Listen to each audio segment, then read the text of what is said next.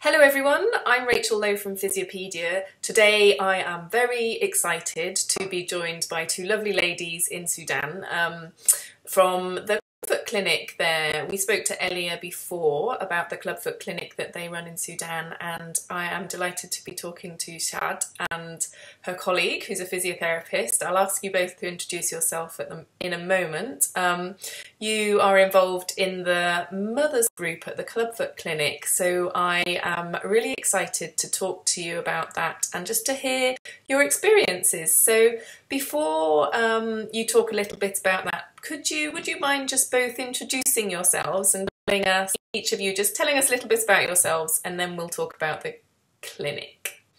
Okay. Thank you Rachael for this uh, opportunity to speak a little bit about the club Clubfoot in sudan that we recently started in kch uh, KZH is uh, one of the rare uh, centers for Clubfoot in Sudan. Actually, the only one, and we are so happy that we started to work on it uh, last year, uh, last two years. And uh, just to start, my name is Ala. I'm working for ICRC as resident physiotherapy, and um, after establishing this program, we started slowly, slowly to catch the patient who are complaining from uh, clubfoot and slowly, slowly, we started to get uh, many numbers of patients. And uh, uh, the son of Shad, he was one of the lucky guys that uh, we started to work with him. And then we started the treatment with the with the Ponseti technique. And uh, we are so glad to see the difference of the results that we uh, we saw after using this technique in the center. Okay, so I'm really, I'm so, I, it's really good to hear a, about a successful clinic that you've set up and started, and you've seen some really lovely results with the children that you've been working with. So, Shad, um, would you um, just tell us a little bit about yourself? And I'd love to hear your story about um, your experience with uh, your experience and your son's experience as well. Uh, okay, my name is Shahad Abdelgader. So, uh, I came to the Shishar uh, with my son to give him, but I, uh, I feel a problem when I was pregnant with him. So the problem is, uh, is always I, I feel it in my stomach. So they, uh, when I delivered him, they told me about the clubfoot, and I, uh, I uh, searched about the healing the clear, the clubfoot, and I found Shishar. So I went to him. I went to the, I went there and we, and we started we started the treatment. And now it's very good. Yeah. So how um how so you so he was just a baby when you came first came straight to the clinic when he was a baby. How long has it taken how long did the treatment take? And how was your experience of going through the treatment with your son? First thing that i uh, i start uh, i start with him from the first day. So it took uh, the cast uh, for two months, two months cast, and uh, then the three months for the shoes. It counts all all the five uh, five months. Five months. Five months. Yeah. After after five months is good, but I think they they have to wear the shoes at night to be not uh, not get back yeah is full yeah, yeah, yeah and how is he now? How, is he running around? Yes, I'm very happy. ah, good. That's really good to hear. And so, for you as a mother, I mean, he's obviously very happy. Um, he is running around now and is very happy. And I did just see him before we started recording, which was lovely to see. But for you, um, how has the experience been for you as a mother coming to the clinic? Uh, I don't know, maybe I was shocked first, uh, the first time, first time I see my baby that I was shocked, but not, but I'm thinking about how to heal him, not to be sad about this problem. So I have to search, uh, search very, very fast to, to, to heal him. Uh, I know that uh, the most, uh, the fastest, the fastest I, I began that, yeah, he, he will be healed, healed faster. Yeah. Yeah. Okay, and so since then, you have um, become involved in setting up a group for mothers to um, sort of talk to each other and support each other. Can you tell us a little mm. bit about that? Yeah, we uh, we I have uh, I have come uh, for uh, uh, for me and question. A meeting for mothers. Uh, yes, for several meeting for the for mothers so they, they always complaining about the time, so uh, the time of healing. But when they see my son, it's very, it's healing. It, uh, encourage him, have encouraged him for, uh, for, for, for him, his, uh, his old child, their, their child too. Yeah, it's good with him. Yeah. And with me too. I feel that uh, I do something's good for him and good for my son yeah. I feel proud of myself.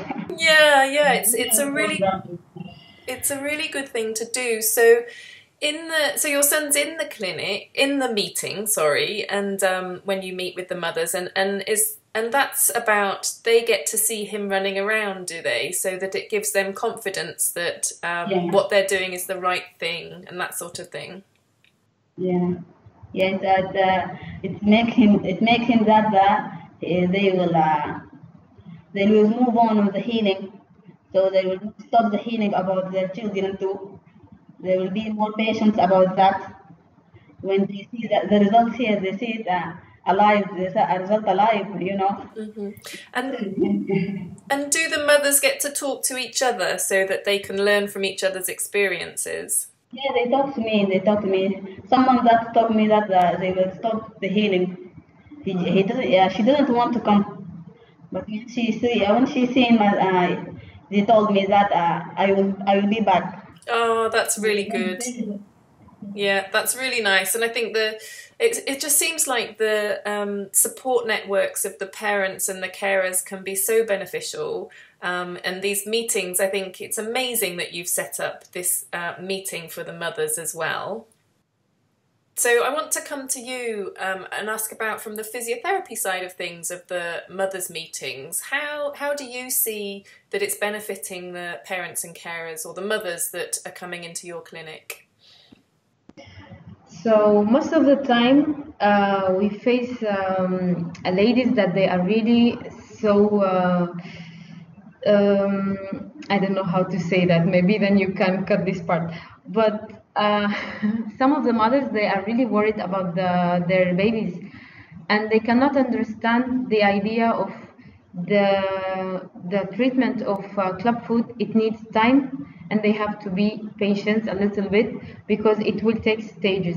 And then they have to understand the idea of the how to keep this uh, the nice feet after the treatment how they can keep it like it as it's the the correct position so they mainly complain about that we cannot continue. Sometimes in Sudan here we are coming from, uh, they are coming from different places.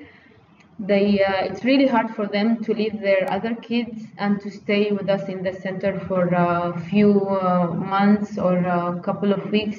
Sometimes it's really difficult to convince, and uh, it we take it takes us a long of time to to make them really realize the importance of this uh, treatment. So we thought about why we don't involve the mothers like Shat, and she can share her experience and the story, and at the same time she can take her son as a real example for the for the result of the treatment. And uh, with Elia, we started to think about it. We involved the social worker in the center, and even the other physios. They were so happy by the idea.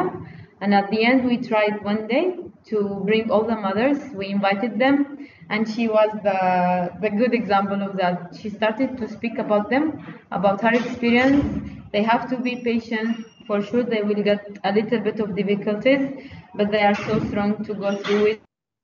Yeah, I know that we will face many mothers that they will uh, still facing problems, but at the end with the mother groups, they can they they can change their minds at the end. It sounds. I mean, it sounds amazing to me. It sounds like it's um, quite a significant has quite a significant impact on on on the on the outcome for the child because um, you're able to really help support the mothers and encourage them to return for the treatments and and um, continue to through to the end, and you're able to show with your son um, how amazing the the treatment can be for them. So, um, listening to your story, listening to the reasons why you set up the clinic, and Shad, listening to your experience of what you went through and how you've been helping the other mothers, I think it's such an amazing story, and I'm really grateful to you both um, for spending the time today just to talk to me and to share your experiences with you. Um, thank you so much. Is there anything else that I haven't asked or we haven't talked about that you think is really important for maybe other mothers or or even other physiotherapists to hear from your experiences? Yeah, I want to I want to tell you something that uh, even even if uh, if they have a child, more children in their home, uh, I don't think it's, it's, a problem. So if they if there uh, anybody not help him, uh, there is no need. I don't have anyone to help me. No, no, no mothers, no sisters, no everyone. I just leave leave my uh, the other child uh, on the kindergarten, uh, the kind, uh, and uh, in the school. Yeah. And I, I get back my uh, my little son and uh, to cure. So it's not a problem. I think it's a, if you have a, a very good will to uh, to cure your sons, it's just enough. Just this is enough. Yeah, it's. So, it's such a positive experience and it's such a positive outlook that you have and and, and sharing that positivity about the experience. I think it's really um, really helpful to hear and i think it highlights definitely highlights how important the mother um, peer support networks are. So thank you so much for sharing uh, your experiences with us today. Um, is there anything else you'd like to share or have we covered everything Thank you. I just have uh, a small message for the physiotherapists, like for Club Foot Kids, you have to involve the mothers because without them, it's really difficult to continue the treatment. As long as they are really convinced about it and it really works, so there is nothing to do. It's really good when we have a really confident mother and she wants to continue, then we can start the treatment smoothly. And that's a really important message, and I think that's been highlighted just by talking to yourself and to Shad today. So thank you both so much for joining us. Um, it's uh, it's really good to hear your stories um, and a really positive message. So thank you both. Thank, thank you, thank you, Rachael. You're most welcome.